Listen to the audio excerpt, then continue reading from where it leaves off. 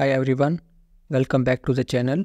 Today we are working into a really exciting project that was given to me during an interview. And now I am passing the challenge on to you. The task is to build a patient feedback system using Microsoft Power Apps and I will guide you through the requirement today. So before we get started, here is a quick challenge for you.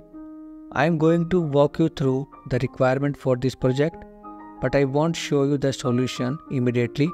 I want you to take on this challenge yourself, try building the app on your own and then come back to compare your solution with mine. You can download the requirement document from the link in the description or my bio.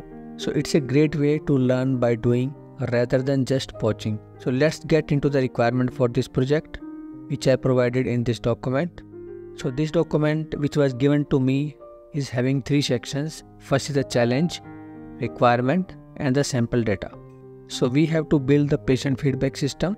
So currently hospital is capturing the feedback manually so which takes 15 days or a month. So the objective is to develop a feedback system immediately after the patient discharge. So create it as an online form and link it to the real-time dashboard for management review. So the requirement is create an application using Microsoft Power Apps.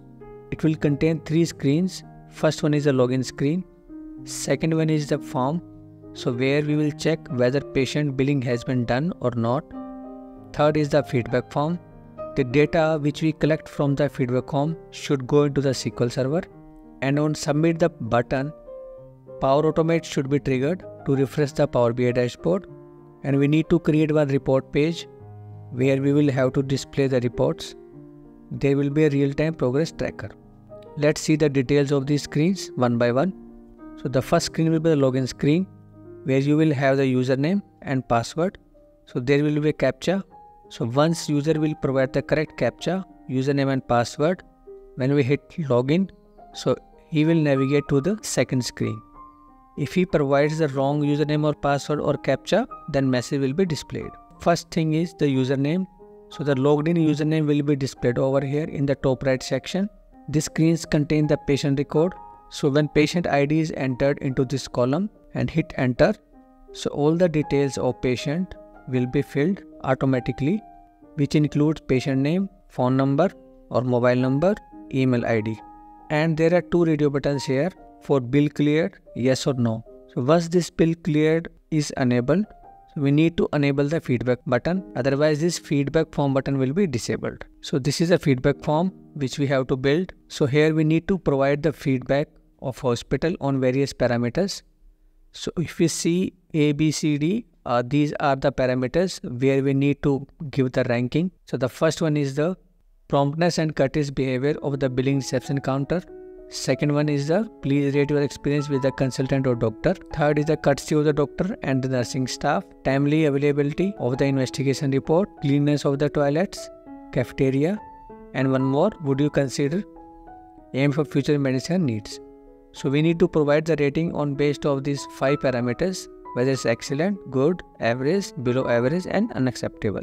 Apart from that, user can also enter the comment or suggestion and hit on submit.